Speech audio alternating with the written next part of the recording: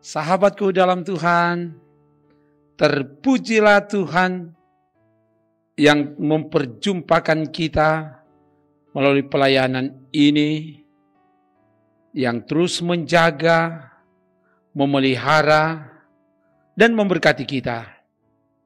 Hari ini dia akan memberkati kita dengan firman-Nya.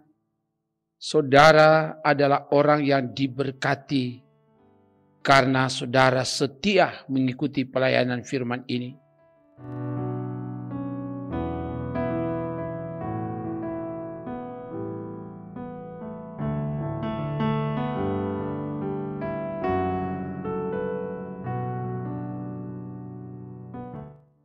Kita akan baca dan renungkan firman Tuhan sebelum itu mari berdoa.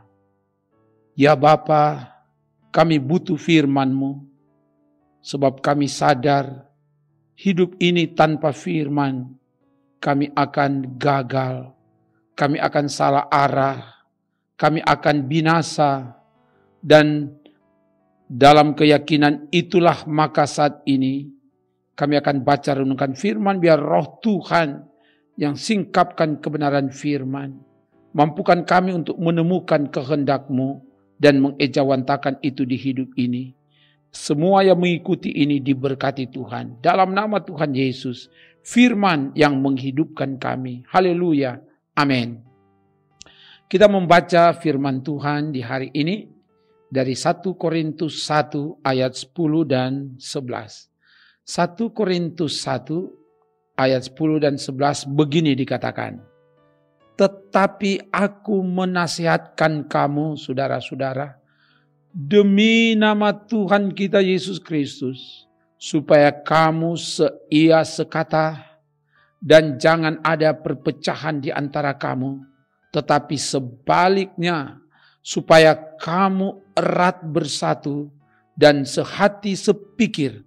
Sebab saudara-saudaraku, aku telah diberitahukan oleh orang-orang dari keluarga Kelu tentang kamu bahwa ada perselisihan di antara kamu. Demikian firman Tuhan. Sahabatku di dalam Tuhan, firman Tuhan hari ini diberitakan bahwa umat Tuhan atau gereja Tuhan yang ada di Korintus berada dalam perselisihan dan hal ini menjurus pada perpecahan umat untuk mengatasi hal itu, orang-orang dari keluarga Klu memberitahukan persoalan itu kepada Paulus. Ayat 11 mencatat itu. Klu dari bahasa Yunani artinya tumbuhan muda yang berwarna hijau. Menunjuk pada seorang perempuan Kristen, usahawan di bidang industri dan perdagangan yang tinggal di Korintus memiliki banyak buruh dan pegawai. Ketika Paulus mendengar berita dari orang-orang yang datang dari keluarga Klu, ia punya tanggung jawab untuk menjaga, memelihara umat Tuhan di Korintus yang telah dibangun supaya tetap bersatu dan oleh sebab itu ia menasihati demi nama Tuhan Yesus Kristus Artinya, nasihat yang disampaikan bukan untuk kepentingan Paulus, bukan untuk kepentingan manusia, tapi untuk kepentingan Tuhan. Isi nasihat adalah pertama, umat diingatkan supaya jangan ada perpecahan di antara kamu. Allah tidak menghendaki perpecahan, tapi persatuan, keutuhan umat, supaya mereka semua menjadi satu itu adalah isi doa dari Yesus dalam Yohanes 17 ayat 21a. Yang kedua, umat diajak untuk hidup seia sekata. Seia sekata menurut Kamus Besar Bahasa Indonesia artinya sama-sama bersetuju dalam segala hal, dalam segala perkara.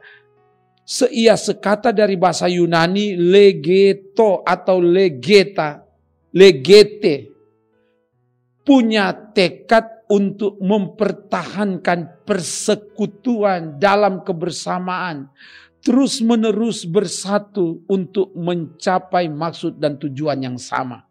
Yang ketiga, umat Tuhan diajak untuk erat bersatu. Erat bersatu bahasa Yunani katartitso membangun keharmonisan dari segala perbedaan. Dan yang keempat, umat diajak untuk hidup sehati sepikir. Artinya, umat memiliki kesatuan bersama, pikiran dan kesehatian bersama sesuai dengan kehendak Kristus. Ini yang harus dilakukan dalam rangka menjaga, memelihara keutuhan umat Tuhan, sahabatku di dalam Tuhan. Firman Tuhan mengingatkan kita hari ini sebagai umat Tuhan, sebagai keluarga Kristen agar berupaya hidup dalam perdamaian, berupaya menghindari perselisihan dan kalau terjadi perselisihan berupaya untuk menyelesaikan dalam tuntunan Tuhan. Jangan ambil jalan pintas perselisihan yang terjadi jangan mendatangkan perpecahan dalam kehidupan keluarga, suami istri. Jangan karena perselisihan berakhir pada perceraian. Ingat, apa yang telah dipersatukan Allah harus tetap dijaga, dipertahankan supaya tetap bersatu, tetap utuh kita diingatkan juga dari firman agar jangan ada perpecahan mulai dari dalam rumah, dalam kehidupan berjamaat.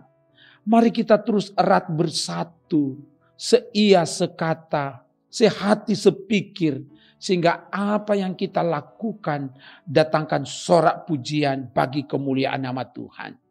Semoga ini yang akan kita lakukan dalam perjalanan bergereja Sekalipun kita diperhadapkan dengan godaan-godaan untuk berpisah, untuk memisahkan diri satu dengan yang lain. Tapi firman hari ini dengan tegas mengingatkan kita.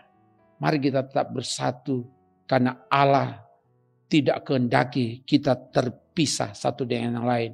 Bersatu kita kuat, bercerai kita lemah bersatu kita menang, bercerai kita kalah. Biar ini yang akan kita lakukan. Semoga demikian. Haleluya. Amin. Mari berdoa. Terima kasih Bapa. Firman telah diberitakan. Biar firman ini mendorong kami sebagai umat Tuhan, sebagai pelayan Tuhan, supaya kami tetap bersatu sekalipun di tengah keragaman, di tengah kepelbaga, kepelbagaian, di tengah perbedaan, biar itu tidak dapat memisahkan satu dengan yang lain, tapi kami tetap bersatu, tetap utuh di dalam Tuhan. Dan berkati perangkat pelayan Tuhan yang ada di Gemim Bukit Moria Rike Manado ini berkati tim multimedia dan berkati semua anggota jamaat yang dengan tekun setia membangun kebersamaan untuk melaksanakan pekerjaan Tuhan. Dan semua umat Tuhan yang mengikuti pelayanan ini di mana pun mereka berada. Tuhan tolong, Tuhan berkati buat sukses dalam melaksanakan berbagai tugas tanggung jawab dan beri kemenangan manakala menghadapi berbagai tantangan pergumulan. Jaga bentengi kami, apalagi di tengah pandemi COVID-19 dengan adanya varian baru Omikron. Kami mohon Bapa dalam nama Yesus. Engkaulah tempat perlindungan, engkaulah tempat perteduhan, kota benteng yang kokoh yang menjaga membentengi kami sehingga tidak tertular dengan virus corona. Kami tetap sehat karena ada Tuhan yang menjaga membentengi kami siang dan malam. Di mana pun kami berada, saudara-saudara kami berada yang ada di kota Manado, di kabupaten kota Provinsi Sulawesi Utara, yang ada di bangsa Indonesia tercinta ini, bahkan yang ada di bumi milik Tuhan ini. Biar ada kuasa Tuhan yang menjaga membentengi kami siang dan malam. Bertindak Bapa dan yang sakit disembuhkan. Apalagi yang ada di tempat-tempat isolasi, yang ada di tempat-tempat karantina. Tuhan tolong beri hati tabah sabar dan Tuhan pakai semua yang digunakan, alat-alat, obat-obat, makanan, minuman, vitamin, semua dikuduskan. Dan juga tenaga medis Tuhan berkati. Supaya mereka tetap aman dalam penjagaan pembentengan kuasa Tuhan siang dan malam. Bersama juga dengan pemerintah yang ada. Tuhan tolong jaga bentengi. Supaya apa yang diupayakan oleh pemerintah dapat disupport oleh seluruh masyarakat. Dalam nama Yesus. Dan Tuhan buat berhasil kerja pelayanan yang dilakukan di Gemim Bukit Moria Rike Manado ini. Untuk kegiatan pembangunan rumah Tuhan, gedung gereja. Tuhan tolong pakai panitia yang ada juga bersama para pekerja dan seluruh perangkat pelayan dan umat Tuhan. Supaya kami bersatu padu, bergandengan tangan, seia sekata, sehati sepikir untuk membangun pekerjaan Tuhan. Sehingga ini sukses nama Tuhan dipuji dimuliakan.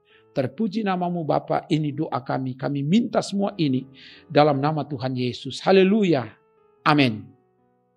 Demikian pelayanan firman dan doa. Terima kasih saudara tetap setia mengikuti pelayanan ini. Kamu sangat berarti bagi kami. Sebab kamu berharga dan mulia di mata Tuhan. Tuhan mengasihimu. Shalom. Salam sehat dan tetap sehat. Jaga iman, jaga imun so pasti aman. Sebab Tuhan menjaga dan menyelamatkanmu. Amin. Trims.